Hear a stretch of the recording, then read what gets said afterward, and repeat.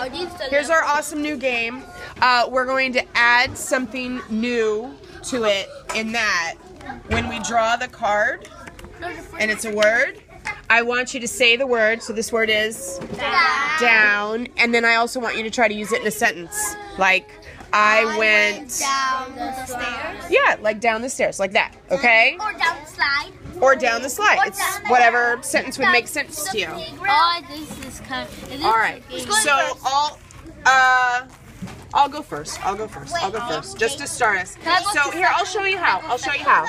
Can we go second? Yeah, the kaboom cards and everything are still in there. The only thing that we're gonna do is now we're just gonna use the word in a You have to sentence. put the how many Uh huh. All right. So I have the word and.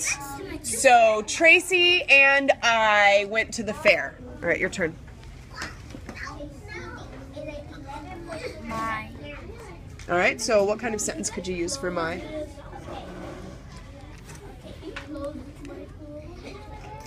What if if you didn't make his sentence and doesn't make any sense? Well, I'll help you with it if it doesn't make any sense.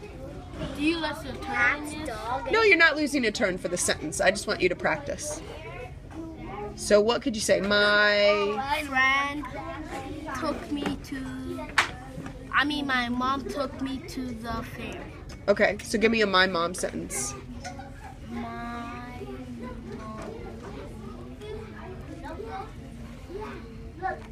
What's something your mom does? Cook. Okay, my mom cooked. Hi, Johnny Man. Oops. What did she cook?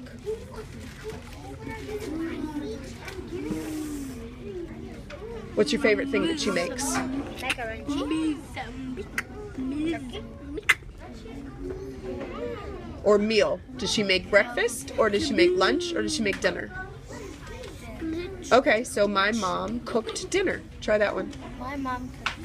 Okay. All right, go, Emmanuel. Ooh, what's it say? Take one card from other player if you know Okay, so you can only take mine or Brianna's. What? do- Which card do you want? You have to say a sentence with it though. And I, me and I went. Me and my friend went to the went to the carnival. To the carnival. Okay, say my friend and I went to the carnival. And I went to the carnival. That's awesome. Okay, go for it, Jose. Help. I went to go help my next door neighbor. Ooh, that's and he paid me. I play with my friends. Nice.